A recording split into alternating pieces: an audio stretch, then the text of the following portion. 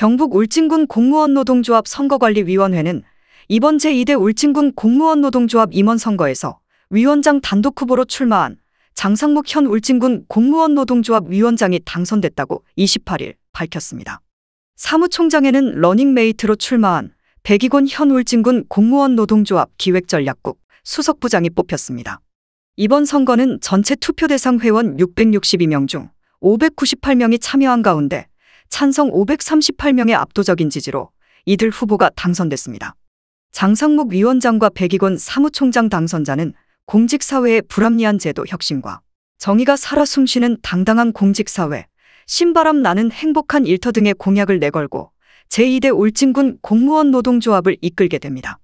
제2대 울진군 공무원 노동조합 임원의 임기는 3년으로 2025년 3월까지입니다. 어, 존경하는 울진군 음, 공무원 노동조합 여러분, 제2대 노조위원장으로 당선된 장상묵입니다. 우선 조합원 동기 여러분들의 압도적인 성원에 다시 한번 일할 수 있게 해주셔서 감사합니다. 앞으로 3년 조합원 동기 여러분들 위하여